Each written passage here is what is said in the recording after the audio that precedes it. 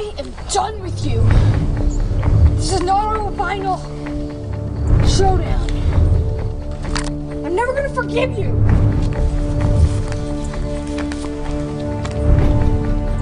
Bushy, I can't believe you've done this to us. You're dead to me.